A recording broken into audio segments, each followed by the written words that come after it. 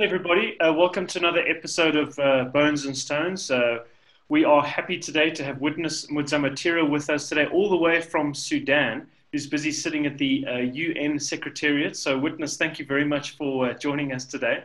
It's good to see a, a, familiar face again. We haven't seen each other at WITS for, for quite a long time. We, we uh, often used to see each other in the, in the lab at the basement of Origin Center. So, I haven't seen you for a while. And now we're all cooped up in our, in our various offices. So- it sounds so dodgy when that's how you introduce our guest. Oh, from your basement days somewhere. I mean, she's like. Well, thank you guys. uh, we, we, thought we'd uh, bring you on today to discuss, obviously, a little bit about your, your research and stuff. Uh, we know you've been working mm-hmm. with uh, Professor Karim Sadr uh, on Kweneng and you've been investigating some really interesting aspects using information systems and, and how uh, that can be used, uh, you know, to um, understand aspects of heritage management, maybe making people a bit more aware of the kind of heritage that we have. Kweneng is such an amazing site, and especially given that it's situated within Gauteng and within an area that is obviously developing. Uh, Gauteng, you know, as a, as a province is developing so quickly. So uh, maybe, Witness, if we could start off with that, if you could maybe just talk us through how you got involved in the Kweneng, uh, Kweneng project and some of the maybe, maybe some of the um, key components that you were looking at in terms of your research. Okay. Um. So first of all, like uh, Kweneng is just uh, a part, uh, sort of like a portion, uh, sort of like the southern portion of my my, my case study. I, have been really uh, studying the southern Gauteng province from Joburg right up to uh, Vaal River. So Kweneng is uh, just like a portion of of my research, but basically my my research uh, indicated uh, I, I was studying uh, sort of like to see the efficacy of uh, heritage management uh, in that area when it comes to CRM reports. And so I used GIS, QGIS to be specific, to sort of like um, test uh, uh, how effective heritage management has has been in the area, and also just to, to understand the community uh, community opinions and perceptions and their worries, and sort of like to just exhume some of their opinions about the stone wall structures and how they, they would want their heritage to be managed. And uh, it, it, it, the, the last part was uh, for me as, as I looked at education and awareness of uh, these stone wall structures in this in this whole area, looking for information technology ways in how we could uh, sort of like improve uh, education and awareness of uh, the stone wall structures in this area. Okay, thanks, Witness. Okay, that's that's really interesting. Um, just in terms of uh, looking at your data sets, the data sets that you were working with um, for for the region, you know, obviously you've mentioned uh, geographic information systems. Were you using a lot of uh, kind of spatial data um, that fitted in with a, a, lot of the lidar data that was recorded for the Kweneng project, or were you also using historic imagery as well? Uh, what what were you kind of feeding into your your uh, GIS models? Uh, no, basically, I was using um, I was using uh, um, historical area of photographs, which I got from um, NGI, um, which is which is based in Cape Town. Um, so um, it was based on uh, historical uh, of photographs, and also just to uh, use Google Earth as part of the sort of like to verify if the site is partially destroyed is it still standing? I mean how how how how where is it located now? Is it is it under threat to any form of development any form of recent development uh, at the moment okay it's interesting. Uh, witness i'm just going to hand over to tim. He's got a question for you. Yeah, that, so how do you, when it came to doing assessments and looking at the CRM uh, reports and so on, how did you assess the efficacy of those reports versus the data sets that you were working with? So basically, what I did was um, the, the, the first task for me was to identify um, all the uh, sort of like the all the areas uh, through historical area photographs, which had been done in 1961 by um, sort of like uh, the Gauteng uh, um, municipality when when they were trying to do urban development and expansion. So um, they were black and white, of course, but you could uh, see tiny uh, dots on those historical area of photographs, uh, which looks, which sort of like looks like uh, smallpox, like on skin. Then I, I circled almost all of them and created these uh, slates, which I could import into QGIS to sort of like uh, use both um, Google earth and to sort of like pin each one of them, and also now assess to see, okay, is it still stand? Is it still there? Is it destroyed? Um, it has been. Then I then went into the archives for for um, heritage uh, impact assessments, uh, where I would uh, look because uh, WITS uh, was part of um, uh, sort of like the researchers that did a lot of work uh, in the south of Gauteng and also um, SAHRA. So I was looking and tracing the, the site when it comes to the, the boxes. They, they sort of like mapped them in such a way that they had this area archival map, which they had boxes of CRM reports for each region across Gauteng. So I just concentrated on southern Gauteng to see if a CRM uh, was done. Um, if it was done, uh, was there enough information for anyone to come maybe later? I also used, um, you know, SAHRIS. You know, I think that that, that online platform, that is platform, uh, just to test some of those uh, CRM reports. And, and with your results, did you find that a lot of the sites had been preserved or have a lot of them uh, unfortunately been destroyed now? Oh, oh my God! A, a, an extensive amount of were destroyed, uh, actually without any form of uh, of record. Uh, maybe the record was there, probably it was it was um, it was destroyed, or no one knows where it is.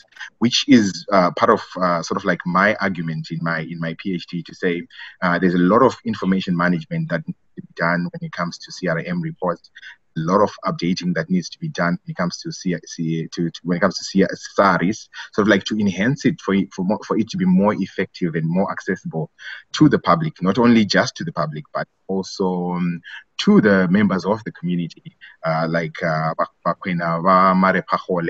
uh, who are the custodians of uh, Southern Gauteng province. Um, and also, you know, something I was also looking at was, okay, were the communities consulted before the sites were destroyed, before development? And and in my second paper, I, I was discussing the issues that um, I also got results that not many communities were, were, were consulted before these heritage sites were, were destroyed. And uh, actually, most of them were not even aware that any form of development oh. done with any form of consultation.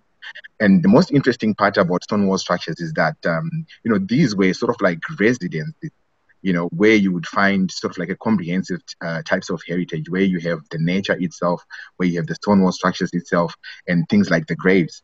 So most of the communities were really complaining that uh, most of their heritage sites were, were destroyed without their consultation, uh, you know, which is um, to them um, against, uh, uh, it's sort of like it's against uh, the, the, the legal frameworks of South Africa. Uh, thanks, thanks, witness. If if I could maybe just um, uh, take us back a step, you know, when we talk about things like urban sprawl, uh, developments, things like that. In other words, all of these uh, factors that are, um, you know, they they could potentially lead to the destruction of these stone walled settlements.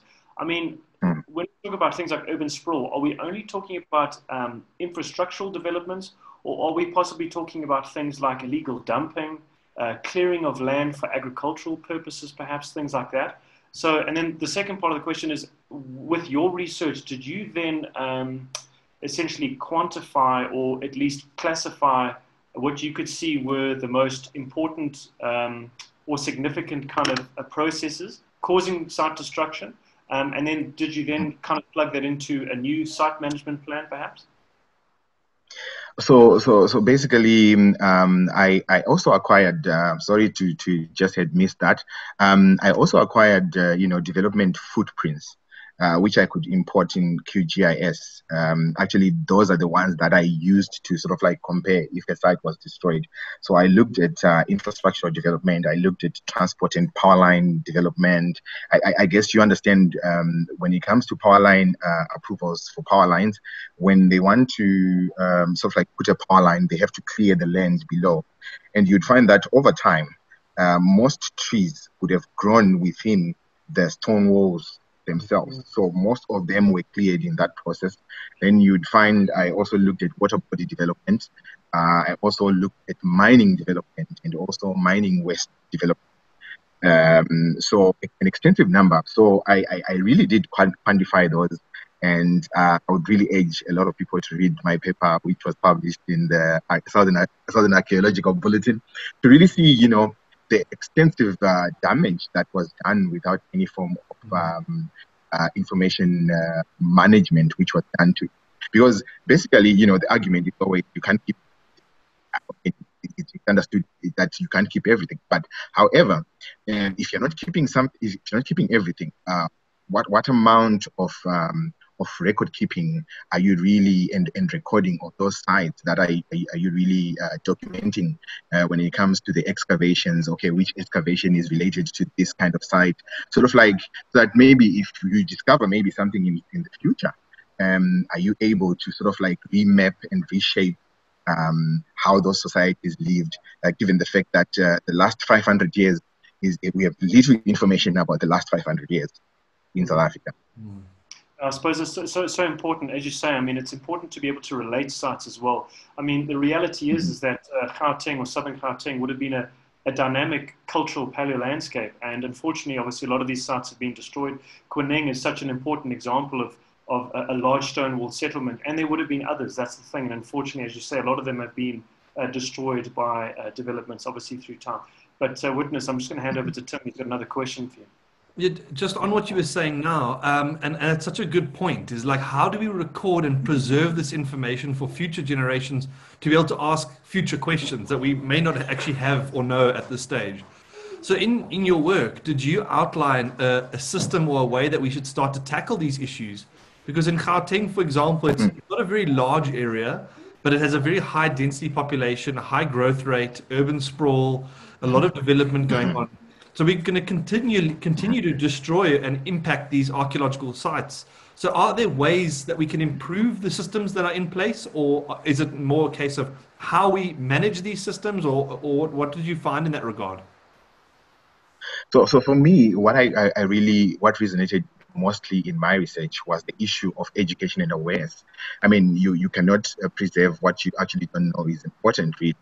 Um, and, and, most of the people that you would find it more probably at Beerberg and uh, Soika When it comes to Soika like where Kweneng is, uh, most of the people would just go there with their bikes and they hike and they do all these activities, but they, they're not aware as much as some information was put in the museum.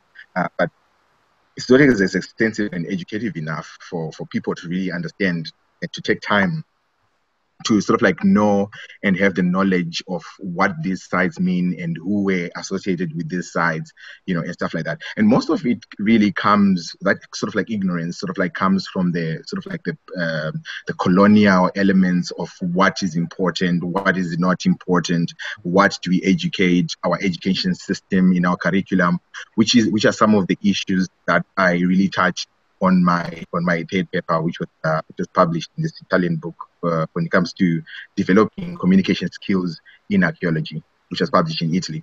So um, some of those issues um, are embedded in the way and colonially, where you'd find um, uh, as much as there there was a need, there was I, I should give credit. There was a need for there, there was an identification of the need to, to sort of like document some of those heritage sites, but there was so much of a gap of trying to save for you to document actually the information such that as much as the site is gone, but you have extensive information for you to educate the young ones, for you to educate uh, also other people.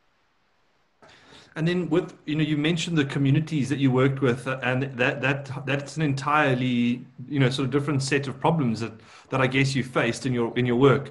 And one of the issues I, am wondering about and is you know with with with uh, land expropriation in that part of South Africa historically, with people being um, booted off their land, um, how did you or how were you able to then trace these lineages of people who are living in those communities historically who are no longer present?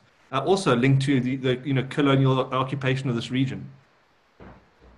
Oh, it was a daunting task. Why? Because also communities in South Africa, especially like Wapena, Mamare Pahole, have been very vigilant in who they talk to, why they talk to them, especially with the mistrust that is between um, the heritage professionals and the communities, which I think uh, was extensively written about by, by Meskell when he, when he was looking at sort of social, the, the social economic dynamics of communities and the relation of the relationship between communities and professionals from from uh, across across Southern Africa. So um, I, I, could also tell uh, you know, with their skepticism, them even talking to me. Actually, I was very then very lucky. Then I just met um, uh, one of uh, the, um, the, the managers of Cliff Privierberg, who said, "Okay, are, are, you interested to talk to the Vamare Pakole?" Uh, after maybe I think almost um, eight months looking for them and reading articles and trying to get into contact with them, but I was failing to get into. Then luckily they they responded very well. Then I started to go to their community events, which they did on Sundays. Uh, they would organize some events where I would talk to them. So I just made it into focus groups for me to sort of like really understand um, what their concerns are because Klipriviersberg at the moment is actually um, it, it, it's actually contested when it comes to, to the to, to the land, uh, and the communities are claiming back their land, and uh, they've been doing that ever since 1995. And you'd also understand the dynamics of how the legislation itself is structured in such a way that it sort of like disadvantages the communities for them to prove ownership of their land when it comes to things like oral history, you know. So them as a community have uh, have in the past started initiatives to document their oral history. And I can gladly say that uh, uh, me and Karim were one of the coordinators uh, between the Wits Library and the community for them to be able to have the Wits Library to be a, a repository of some of the books and researches and and oral history uh, or oral knowledge they managed to gather themselves because they are very organized. I, I, I was quite impressed. That's I mean that's great to hear, and it's it's really nice that you know like what you and Krim have done then you know is to facilitate this. It's kind of like um you know righting some of the wrongs at least of the past is now going in and recording these oral histories that, as you pointed out earlier, colonially were not um, considered significant, and now we know you know in this country we have such a vibrant history, and all of these different elements of our past are pretty important, but it wasn't all written down. So it's great that archaeologists can now have an impact in terms of recording these historical oral traditions.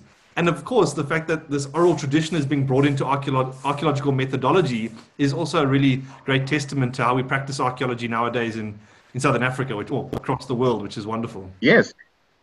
Yes, yes, because also another interesting part was that you know, um, you know, when I was talking about the attitude, the community attitude and the public attitude towards things of archaeology, how our minds like sort of like we had been shaped for us to be able to sort of like reject our own heritage. And I think a lot of work has been done by uh, people like uh, Amanda Esther, Esterhuysen uh, from Wits University. I think you know her. She, wrote, she extensive work and impressive work on when it comes to heritage education. Um, but you know, the, the, the reason why the, their work has not been sort of like supported by the government when it comes to things like funding has been that attitude towards heritage. So I think heritage awareness and, edu- and, and education sort of like changes people's attitude, sort of like to prioritize um, the knowledge that people can gain from their own uh, prehistoric heritage. Agree. Yeah. yeah. Uh, thanks, thanks, witness. Just to maybe uh, have a look at you know kind of CRM projects moving forward. I mean, um, obviously, it's important going forward now that you know whatever archaeology is there needs to be recorded, you know, in, in a manner that um, is sustainable at least, um, and mm-hmm. uh, you know the necessary procedures need to be put in place, the, the necessary consultation as well. Um, in, in, your research, did you explore maybe possibly some of the, the best practices which should be implemented from a CRM point of view in terms of how these sites are dealt with in the region? Yes. Um, so, so, so my my my my final uh, paper, which is which was uh, which is uh, the, the one which is in a book chapter, talks about um, how we can also not just use technology for for for for for only improving, but also to document some of uh, the information and sort of like use it as a tool that can assist in the documentation and um, sort of like access to this information um, uh, that is part of what I did. But in the future, I'm also looking at also exploring and experimenting some of these methods and best practices that I have suggested in my in my book chapter to see if it's possible, if it's not possible, why is it not possible, how can we improve it for it to be possible, which one is possible, which one can we prefer, which one is cost effective, given the sort of like economic dynamics in South Africa when it comes to funding of um, heritage. Uh, witness, just to uh, maybe touch on again, you know, the heritage awareness and the education aspects, and obviously you mentioned the, the work of Amanda Esterhuysen uh, at, at Wits University. Mm-hmm. Um, But just to, to look at it from the context of the Stonewall settlements in, in Gauteng, I mean, it, it, uh, do you think that a, regional kind of approach towards making people aware that this heritage is there, um, at least so it doesn't get destroyed from a development point of view, do you think a regional scale approach is more appropriate? Or do you think um, a more local scale approach is more favorable, uh, you know, depending on the kind of nature of the sites and where they are? Mm. As much as I would prefer a regional approach to um, to heritage uh, awareness and, and, and, and probably education or probably heritage management interventions, but you know, there's always a sort of like a, a, a policy, political, legal policy beyond boundaries. You know, uh, how would you navigate that? Given the fact that heritage um, is part of is part of politics when it comes to Southern Gauteng, um, there is evidence that can use archaeological heritage sites as evidence for land claims. Uh, I mean, the land reform uh, program, it, it, can become a bit tricky. But however, I think um, individually as South Africa, I think South Africa is even capable of even doing that. Only need for things like, like legislation implementation. Um, the legislation is, is, is fine and can be improved, but is, is for me, in my view, um, is, is usable, but it only needs um, uh, mechanisms that make sure that they implement some of um, the, the legislation that they have, they have put in order to protect and preserve uh. Uh, thanks, witness. I'll go, hand over to Tim. He's got a question for you. Yeah, it's just the last question. I think from my side, it's you know uh, what we often see in South Africa that um, CRM practitioners and academia is a bit you know sort of separate. Um, so did you find when you were engaging, obviously coming from an academic perspective and working on CM reports and, and heritage impact assessments, archaeological impact assessments, did you, are, you, have you been consulting and working closely with any of the CRM um, practitioners in the country? And uh, in terms of your recommendations and your findings, is that something that CRM companies are going to, or at least you're you hoping that they take on board and start to think about as they conduct their work? Mm. Responses from uh, developers and uh, CRM practitioners, um, as I mentioned in my second paper, we're not that um, welcoming. Why? Because there's always a threat of how much information you can get, and there's always there's always that power dynamic of um, okay, uh, you uh, mess up with your livelihood when it comes to, to, to issues like like that. But however, um, I mean, some of them, those that re- responded, um, were really keen in some of the methods that they were going to use but it all boils down to SAHRA. What kind of policies would you recommend any CRM to come? Because it, now with GPS, how can you have a CRM report without GPS probably coordinates for you to improve the location of that heritage site? And um, when it comes to issues of social media, how can you use media for you to communicate with communities and in what language and who are you talking to? Do you know where the communities are? You're talking to the public. So you can't just go probably on a more and and maybe hand out questionnaires or ask, do you know anything about this? But probably have sort of like an extensive research. And also, it's, it's a challenge to us heritage professionals for us to probably do our work more extensively when it comes to issues of um, ethno uh, archaeology, when it comes to knowing and understanding um, the, the, people and communities that are associated with sites. And um, there's also another flip side to it, whereby most of the communities, some of them were, were dislocated. But well, that's a different case when it comes to Southern uh, province. Why? Because the community is there, it's well organized, uh, they've got community leadership, and they've got well structured policies and proposals which they've created before. But in the rest of like South Africa and other regions because of land reform and uh, that had happened before. You know, quite difficult sometimes for them to locate who really the owners that heritage is. But um, the effort has to be has to be made for, yeah, for, cool. for people to understand yeah. if it's true or not. Yeah. Mm. Well, thanks, witness. I think uh, we'll we'll end it there before we get booted off Zoom. I see we've only got a few minutes left. But witness, thanks very much. I really appreciate your time today uh, to come and chat about these obviously very important issues and stuff. Sorry, I should have said at the beginning uh, that you're busy awaiting your final reviews for your PhD. So we wish you the best of luck. I'm sure it'll go it'll go well, and soon we're going to be calling you doctor. Uh, but yeah, Thank all, you. all of the stuff. And uh, it was great that you could join us all the way from Sudan today. And yeah, hopefully we'll get to see you again soon to chat about some uh, more of your interesting research in the future. Okay, thank you, thank you, Matt. Thank you, Tim. Thank you, uh, guy. Thank you for welcoming me, and uh, um, welcome me to, to, to your interview. Thank you. Thank you. Thanks.